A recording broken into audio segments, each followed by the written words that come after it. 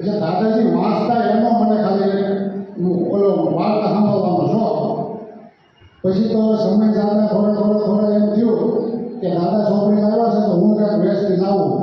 એટલે પાલિતાણાના બસ સ્ટેન્ડમાંથી એક રૂપિયાની સોંપણી પહેલાં ખરીદી. એ પંચ બોતેર બોતેરનો પંચોતેરનો ગાળો છે મારા ખ્યાલથી, ઓગણીસો. એટલે ત્યાંથી પછી ઓગણીસો એંસીની અંદર સૌરાષ્ટ્રની રજધાન બહાર પડે.